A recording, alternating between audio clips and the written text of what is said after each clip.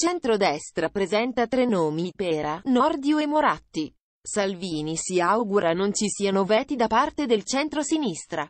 Il centrodestra, come anticipato da Matteo Salvini nel corso di questi giorni, ha annunciato la sua lista di nomi per il Quirinale. La comunicazione sulla rosa è avvenuta con una conferenza stampa tenutasi a Montecitorio. Dopo il vertice tra i leader della coalizione, il centro-destra ha fatto tre nomi, l'ex presidente del Senato Marcello Pera, l'ex magistrato Carlo Nordio e l'ex sindaco di Milano ed ex ministro Letizia Moratti. Il leader della Lega Matteo Salvini, con al suo fianco il vertice di Fratelli d'Italia Giorgia Meloni ed il coordinatore nazionale di Forza Italia Antonio Tajani, ha detto di essere soddisfatto e di confidare che non vi siano veti.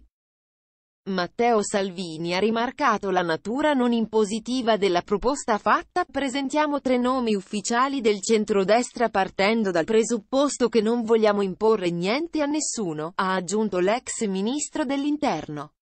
Salvini si è anche soffermato su come i presidenti della Repubblica degli ultimi anni siano stati individuati tra personalità contraddistinte da un colore politico diverso da quello del centrodestra. Negli ultimi trent'anni la sinistra è stata protagonista della scelta, penso che ora sia diritto dell'area liberale moderata che è maggioranza del paese di avanzare delle proposte, ha continuato.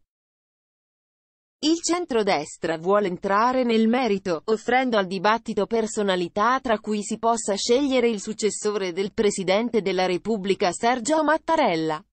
Salvini ha specificato di volere tenere fuori dalla discussione il Presidente del Senato perché la seconda carica dello Stato ha in sé la possibilità di poter essere scelta.